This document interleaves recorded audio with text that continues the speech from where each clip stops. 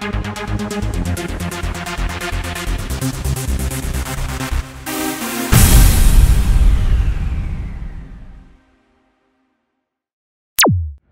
Zusammen. This is one of those moments when I just felt the need to make a video while I was walking. Uh, walking with a friend, Steven.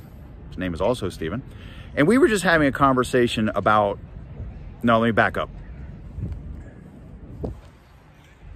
Hello, Zusammen. This is one of those days when I just feel the need to make a vid video spontaneously, so here it is.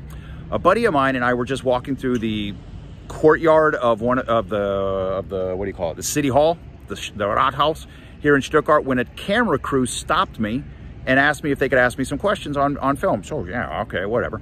And it was all about do how do I feel about women or men who are transitioning using the restroom of the other gender. And I personally don't give a rat's ass, and I said so on camera, that if what what people do behind the door in the restroom, like once they get in the stall and close the door, I don't know what you're doing. I don't want to see what you're doing, and I don't care what you're doing. So what does it matter to me?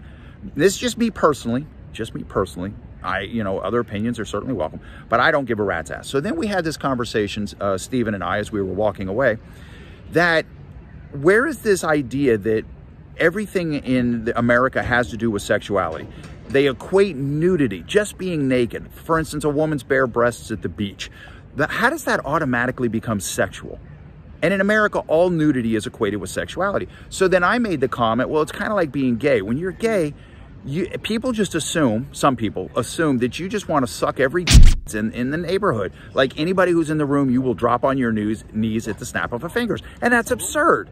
That's so, oh, I'm not cussing anymore. So that's nonsense.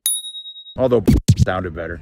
So, and then we, I took it one step further. I said, you know what? That's no different than people that are on the sex offender registry because somebody was convicted of a sex offense one time in their life. And when I say sex offense, I mean a sexual act that has been criminalized in the U.S. It may not necessarily be violent or, or amoral or immoral.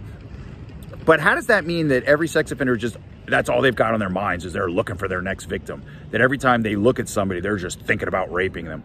Man, that's just nonsense. Although sounds better. All right, I'm just putting that out. Quick video, just quick video. All right, hope you all are having a great day because we're having a great day over here. Steven just got a job offer. Love it. Congratulations to him. Cheers.